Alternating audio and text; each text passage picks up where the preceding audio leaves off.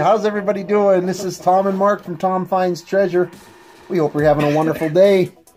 We are not really having that good of a day. Um, haven't found silver in a long time. Might have to change the name of this channel to Tom Doesn't Find Treasure. But anyway, we've got a box of half dollar coins here. We're going to go ahead and open it up and hope we can find some treasure. We're looking for silver coins. All right, here we go. A one and a two and a clad. All right. Anything. I don't know, Anything gang. that looks like anything. Anything. I'm gonna say no enders on top. No enders on the bottom.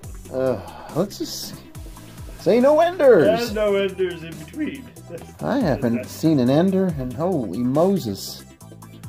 I don't know how long it's been. I forgot what it was. What's an ender? again? Seriously. Alright, well, we're gonna tear into these and see what we can find. We'll be back.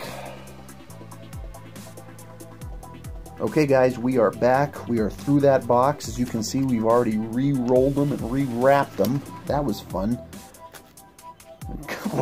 Each their own. wild nights we have around here at Tom Finds Treasure. We didn't find any silver, sadly, but we did find a very, very, very pretty 2001 uh, San Francisco Mint S.